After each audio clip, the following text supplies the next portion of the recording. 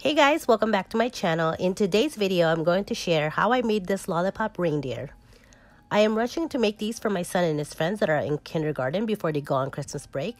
But you can grab this SVG file on my blog at cecedsmith.com and just type in lollipop reindeer and you will find my blog post along with a free file that you can download for your own cutting machine software.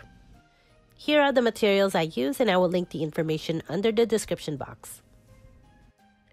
So I'm in Design Space and let's just go ahead and click Upload, Upload, then Browse, then search the file, and mine's right here and I'm just going to double click. Then on this screen, let's just go ahead and name the file, put a tag if you'd like, then click Save. Click on the image and then click Insert. And right here, I'm just going to resize this to 8 inches in height. And I'm going to rotate this to the left. Then I'm just going to bring this up here.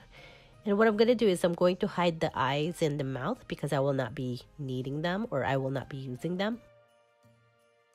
Then I'm going to duplicate the image and bring it down here, select both, and I'm going to click attach.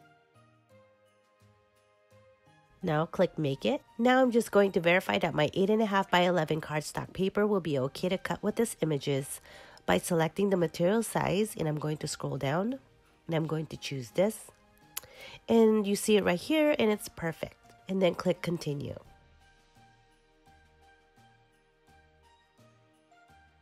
And right here, I'm going to choose light cardstock and I'll be back because I'm going to load the mat and just cut a bunch of these reindeers.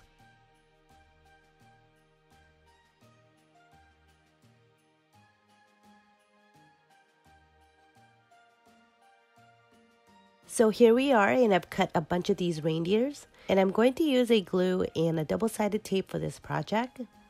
Now it's time to assemble. I do apologize, I'm kind of losing my voice because I have been sick for a week and I'm just trying to get this video going so that way I can post and share with you guys. So first I'm going to take the black marker and just create the mouth just like this. Then put a dot of glue for the eye area. Then I'm going to add the googly eyes and gently press. Then I'm going to put this aside and just let it dry. The next step is I'm going to fold the reindeer in half and you can see that there is a score line for me to fold. Then take the lollipop and I'm just going to twist the bottom of this so I can insert it into the hole with no problem. Next, I'm going to use my double-sided tape and run it on both sides of the antlers. Then I'm just going to line these up and press. And there you go.